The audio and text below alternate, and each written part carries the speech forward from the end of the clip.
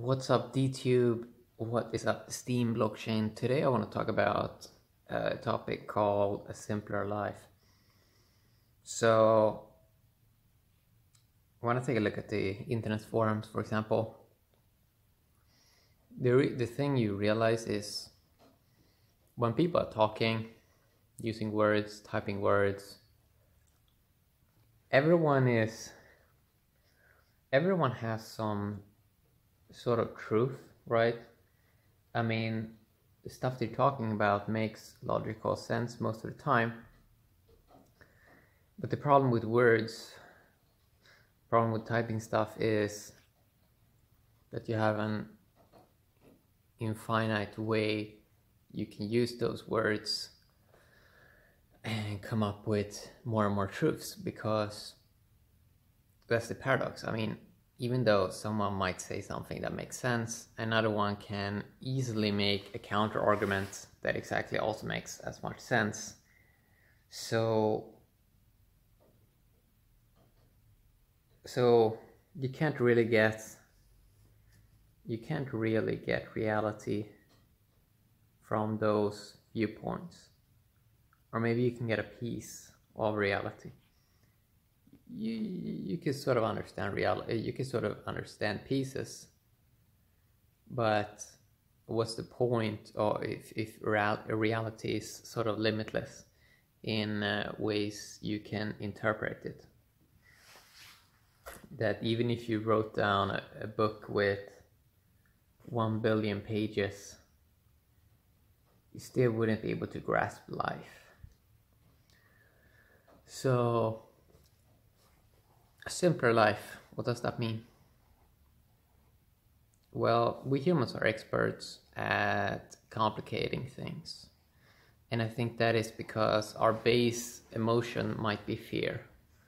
So if you complicate things, you distract yourself. And the cool thing with that is you don't have to face reality.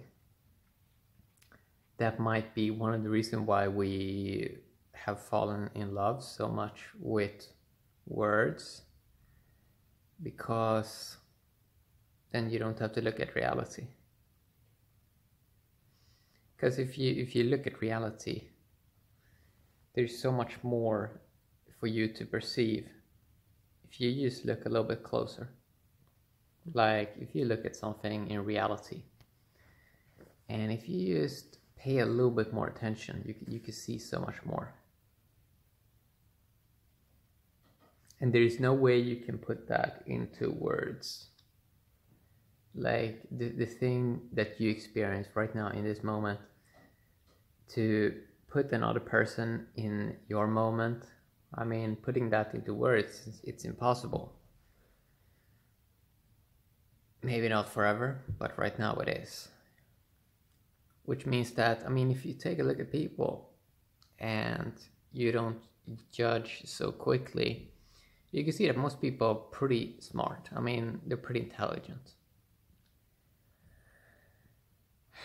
But with words, you can pick pieces and from life, and it becomes fragmented information, and this complicated life. So a simpler life, something that is hard for many people to to consider because that means probably that they have to face fear. And that's something that most people do not want to do. They do not do they do not want to do that, right? But clearly there is a certain level of intelligence that is operating in the world that is not based on complexity. For example, you eat something and it turns into your body. You don't know exactly how that works, but you know that there is a level of intelligence here that basically can transform any sort of food into a body. Clearly, if you have that intelligence, probably most of life has that intelligence. That most things are already working used as it should.